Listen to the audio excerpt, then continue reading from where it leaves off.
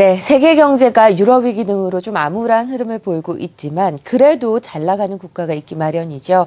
세계 경제가 어려워서 그런지 각종 언론들에서는 이 나라가 이것만은 최고라는 특집을 내놓고 있습니다. 어떤 국가가 어떤 것으로 잘 나가고 있는지에 대해서 오늘 자세히 살펴보도록 하죠. 한국경제신문 한상춘 논설위원입니다. 안녕하세요. 네, 안녕하십니까. 네, 오늘 뉴욕 증시 먼저 비교적 큰 폭으로 올랐는데요. 이 흐름부터 먼저 짚어볼까요? 오늘 할 얘기가 그 브레이크아웃이라는 네. 이런 용어인데요. 어, 브레이크아웃이 그 어려운 가운데 난간을 뚫고 이것을 극복하는 것이 아마 영어로서 의미가 아닌가 생각합니다. 어, 뉴욕 증시가 오늘 어, 바로 그런 모습이 아닌가 생각합니다. 뉴욕 증시가 그동안 재정 절벽 때문에 어, 주가가 13,000도 붕괴돼서 12,700 1일 내외선까지 떨어졌습니다는 오늘 주가가 상당히 큰 폭 올랐어요. 한 200포인트 올랐죠. 그래서 오늘 그 미국 그 증시를 이렇게 난간 속에 주가를 끌어올린 데는 크게 보면 한 두 가지 그리고 작은 것까지 포함한 네 가지 요인이 결부되어 있는 것이 아닌가 생각하는데요. 우리가 이제 그동안 눈이 말씀드려 왔습니다. 아, 시청자 여러분, 한국경제TV를 잘 보시기 바랍니다. 네, 재정절벽 문제에 대해서는 여러 가지 난항이 있다 하더라도 그렇게 우려하실 필요는 없습니다. 궁극적으로는 타결이 됩니다 하는 것을 말씀드렸었는데요.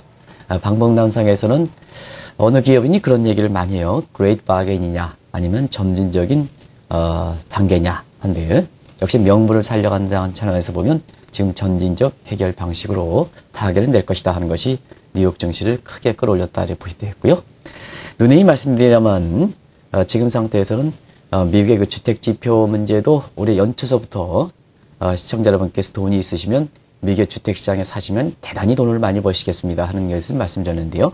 어, 최근에 미국 증시의 마지막 버팀목이 주택 시장 부분이다 하는 것은 어, 지표가 발표될 때마다 입증되는 사실입니다. 네. 여기에 글로벌 그 부동산 가격이 우리는 외터리 현상이 발생하고 있습니다는 세계 집값이 대부분 국가들이 모두 오르는 상태거든요. 유럽도 그 독일, 어, 스웨덴, 노르웨이, 어, 그 다음에 어, 호주, 그리고 미국, 이렇게 중국도 이렇게 집값이 오릅니다는 주요국가의 집값이 상승하는 모습이 어, 경기 침체 우려 속에 완충시키는 역할을 하지 않겠느냐 하는 이런 내용들. 그리고 우리가 보면 그렇습니다. 이런 부분이 우리가 좀 배워야 될 부분인데요. 미국의 월가의 주가가 좀 떨어지는 상황에서 사실상 미국의 정책 당국자라든가 이런 게서 계속해서 심리를 끌어올리는 이러한 요인들, 이런 요인들이 또 매스컴에서는 자꾸 미국 경제의 어려운 점을 지적하는 게 아니라 위기 때일수록 항상 무슨 무슨 최고 최고 최고 이렇게 해서 상상 심리적으로 요인을 개선시키는 이러한 요인도 오늘 그 미국 주가가 여러 가지 어려운 가운데 브레이크 아웃이라는 그런 용어로서 사실 주가를 끌어올렸던 배경이다 이렇게 보실 수 있습니다. 네, 브레이크아웃. 오늘 주제로 한번 돌아가 봐서요. 현재 어, 세계에서 가장 잘 사는 국가가 어딘지 제일 궁금합니다. 사람들의 이 부자에 대한 어, 논의가 굉장히 활발하죠. 잘 사는 국가는 어떤 국가인가요? 우리가 또 이제 위기 때일수록 좀 돈에 대한 관념이 상당히 높아지는 것 그렇죠. 같습니다. 예, 그래서 이렇게 어, 쭉 해서 여러 가지 강의라든가 이런 걸 보면 역시 위기 때일수록 돈에 대한 개념, 그 다음에 부자에 대한 생각 이렇게 해서 부자에 대해서 증세하면 어, 그만큼 중하위 계층들은 여러 가지 시원한 감을 느끼고 어, 이렇게 돈이 이렇게 있으신 분 같은 경우에는 어, 굉장히 저항감을 많이 느끼는 이런 상황이 발생하는 것이 아닌가 생각하는데요. 물론 그 계층 간의 모습을 전부 전해주는 건 아닙니다는 역시 그 세계 경제 입장에서는 가장 잘 사는 국가는 룩셈부르크로 올해 같은 경우는 10만 달러가 넘을 거로 이렇게 보고 있습니다. 그래서 사실상 유럽 위기가 지금 전역을 그 휩싸고 있습니다는 룩셈부르크 같은 국가들 같은 경우에는 어떻게 보면 이게 이런 표현이 적당할지 모르겠습니다는 어 넓은 섬에 이렇게 어 외딴 섬인가요? 네. 그런 식으로 해서 유럽 위기의 어떤 전역 바다가 이렇게 어려운 가운데 룩셈부르크는 홀로 고독해서 섬처럼 이렇게 비치는 것이 룩셈부르크 아닌가 생각하는데요. 최근에 보면 물가 고용이 상당히 좀 안정돼 있어 어, 룩셈부르크 경제를 골드락스 경제라 부릅니다. 유럽의 위기 속에 룩셈부르크가 골드락스 경제다 해서 우리가 골드락스라는 것은 영국의 정례 정화로 어, 어느 그 배고픈 소녀가 숲속에 가다가 곰이 차린 음식이 있었는데 너무 차갑지도 않고 뜨겁지도 않고 아주 먹기에 가장 이상적인 네. 이런 그 경제를 보통 골드락스 경제라 하는데요. 그게 바로 룩셈부르크다 이렇게 보실 때 했습니다. 그래서 어쨌거나 아, 이렇게 어려운 가운데도 룩셈부르크 같은, 같은 경우는 10만 달러가 넘어서 아, 사실상 세계의 부러움을 한 몸에 받고 있다 알려볼 수도 있습니다. 네. 어, 재정위기로 몸살을 앓고 있는 유럽 중에서도 룩셈부르크는 현재 가장 세계에서 잘 사는 국가로 선정이 돼서 눈에 띄고 있습니다. 재정위기에 제가 말씀드렸는데 재정적자와 국가 채무로 어, 최근에 많은 국가들이 힘들어하고 있는 가운데 가장 이런 것을 걱정할 필요 없는 나라, 잘 사는 국가는 또 개념이 다르죠. 어, 재정적자, 국가 채무가 없는 나라는 어떤 나라인가요? 이제 올해도 이제 다 지나가고 있지 않습니까? 네. 그래서 한 달 그 10일 정도면 이제 올해가 완전히 그 지나가는데요. 올해는 각국의 재정 사정이 가장 악화된 해다 이렇게 있습니다. 왜냐하면 위기가 발생한 지 4년이 지났기 때문에 에, 사실 그 경제 회복이 제때 이렇게 극복하지 못하면 재정 사정은 그만큼 악화된다 이렇게 보실 수 있는데요. 자, 재정 사정이 얼만큼 악화되느냐 하는 것을 유럽 위기라든가 미국의 재정 절벽 문제 이런 것을 상징적으로 보여주듯 재정 수지 악화되는 것을 우리가 단적으로 또 피부적으로 와닿습니다는 사실상 그렇습니다. 일본이 지금 230%가 넘는 상태. 이제 이 기관에 따라서 조금 다릅니다. IMF는 225%, 다른 기관은 236%, 뭐 이렇게 해서 조금 다릅니다는 220%가 넘는 상태고요. 미국도 100%가 넘었습니다. 그리고 유럽 같은 국가들 같은 경우에는 제가 말씀드리지 않더라도 시청자 여러분께서 다 아실 거로 이렇게 생각되는데요. 부채 문제, 특히 재정 문제에 관련해서 어, 사실상 일전에 한번 말씀드렸던 재정 수지는 다른 수지와 달리 흑자를 기록하면 안 된다 하는 것을 말씀드렸습니다. 왜냐하면 네. 흑자를 기록하면 재정 운영을 잘못했다는 얘기거든요. 조세, 국민의 그 저항감이 높은 이것을 너무 과도하게 걷어들였다는 것은 어, 국가 재정 운영을 잘못됐기 때문에 사실 흑자가 필요 없습니다. 적자인데 위험 관리 가능한 수준이면 되- 되거든요. 그런 각도에서 대부분 국가들이 적자를 기록하고 있습니다는 아, 사실상 마다가스커스거는 국가 채무가 GDP 대비해서 5%로 해서 거의 균형재정 수정 상태입니다. 그리고 한국도 어, 시청자 여러분 어떻게 느낄지 모르겠지만은 아, 사실 라디오 방송이라든가 이런 데는 한국의 국가 채무가 상당히 높고 선거 과정에서도 역시 어, 정리정당 목표에서 일부 사람들이 굉장히 우리나라의 국가 재정이 악화된 거로 이렇게 나옵니다는 그래도 어, 세계에서 마다카스와 함께 한국이 재정의 건전한 국가로 가장 높게 평가받고 있습니다. 그래서 올해 국가 신용등급이 3대 기관으로부터 일제히 한국의 신용등급이 올라가고 일부 그 기관의 같은 경우에는 신용등급이 외환위기 이전으로 네. 들어간 것도 아마 올해 한국 경제의 10대 뉴스 이렇게 꼽으라면 이 뉴스가 제 개인적으로 보면 한 3위 정도는 기록하지 않겠나 생각합니다. 네. 아주 중요한 소식이죠. 그렇습니다. 32%의 재정 건전국으로 우리나라가 선정됐다라는 소식까지 들어봤습니다. 잘 사는 국가 알아봤고요. 재정 적자, 국가 채무가 없는 나라들 또 살펴봤습니다. 이번에는 경제 규모로 세계 최고인 나라를 꼽아볼 텐데 이거는 뭐 많은 분들이 예상할 것 같습니다. 네, 어, 역시 미국이고 네. 오늘 그 어, 새벽에 끝난 뉴욕 증시가 바로 그런 모습을 보여주는 것이 아닌가 생각합니다. 우리가 보면 경제 규모로 따질 때 여러 가지 기준이 있습니다. 어, GDP 규모라든가 수출 규모라든가 시가총액 규모라든가 이런 걸 이제 따집니다는 그래서 가장 보편적인 잣대가 어, GDP 규모라는 것은 잘 아실 거로 봅니다. 역시 미국은 미국입니다. 위기 때 4년 전에 보면 미국이 제2의 중심국으로 전락하지 않느냐. 아, 달러가 제2의 중심통화로 전락하는 것이 아니냐 이렇게 보고 있습니다는 역시 지금은 이렇게 한국경제TV에 지금 자막에서 나오고 있습니다는 그 모습이 미국 경제 경제 규모다 이렇게 보시면 됐습니다. 네. 그래서 진행자께서도 뭐 누구나 다 예상하신다 그러시니까 네. 이 문제는 어, 시청자 여러분이 잘 아실 거로 생각해서 어, 사실상 어, 이 정도에서 마무리하도록 네. 하겠습니다.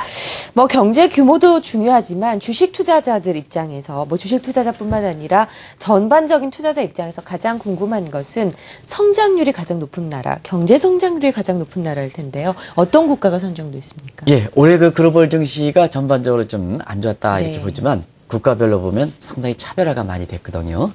어, 그래서 어, 물론 이제 자본시장 발전 장도에 따라서 일률적으로 국가별 비교가 좀 어려운 측면이 있습니다는 주가 상승률을 보면 어, 베네수엘라 같은 게 600%가 나왔습니다.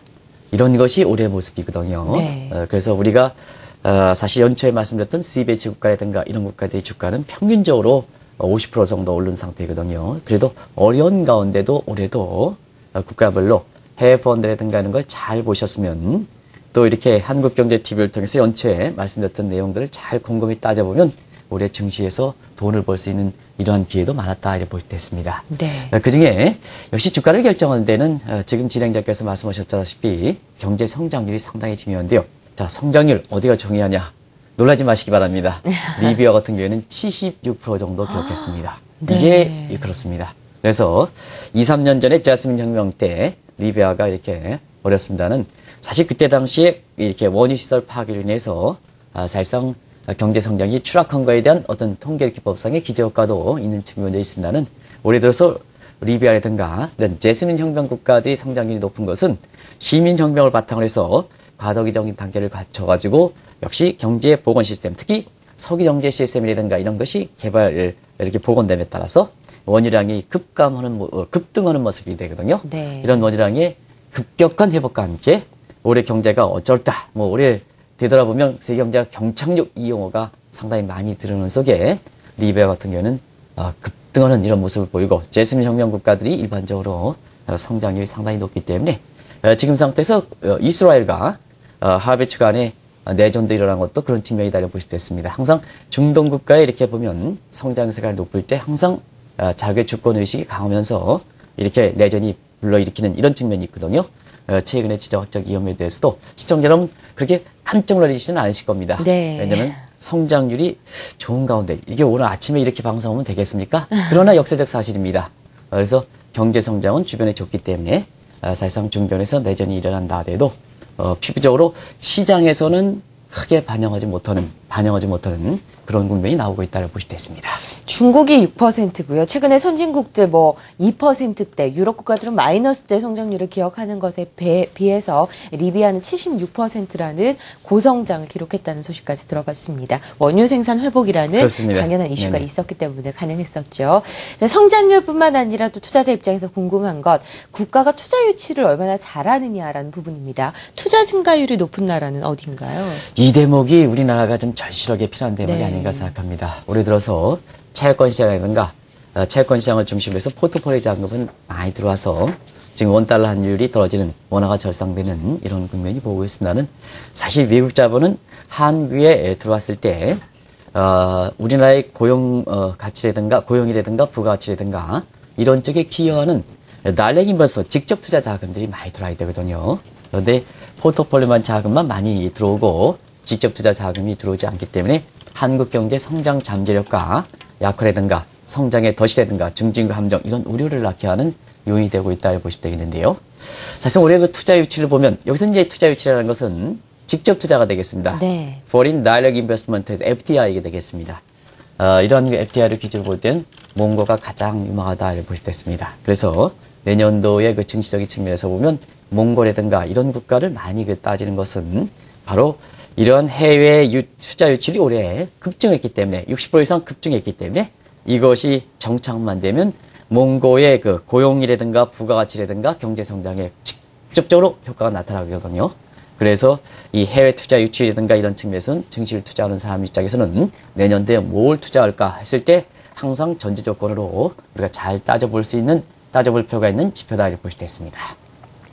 유럽 위기로 한때 주춤했던 어, 한때 떠올랐던 지역주의가 주춤하고 있습니다. 그럼에도 불구하고 이 경제권으로 나눠 보면 최근에 뜨는 경제권도 있다고 하는데 어떤 곳인가요?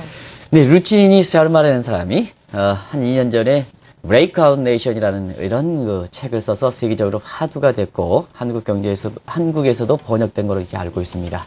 그래서 어려운 가운데 뜨는 국가들을 보시면 되겠는데요. 네. 이런 국가들은 이미 말씀드렸던 내용이거든요. 그런 것이 breakout nation이다 이런 표현을 쓰는데요. 역시 우리가 알고 있었던 폴스 브릭스에 해당되는 국가다 이렇게 보실 수 있습니다. 지금 세계 경제 보면 선진국은 정체된 상태이고요.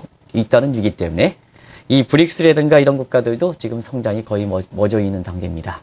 오히려 그 성장 통으로 인해서 함정 문제가 올해 내내 어, 글로벌 증시에 화두가 됐었다는 것은 잘 아실 거로 이렇게 봅니다. 네네. 어, 그러나 breakout nation, 소위 폴스 브릭스 같은 경우에는 올해 주가가 많이 올랐는데요.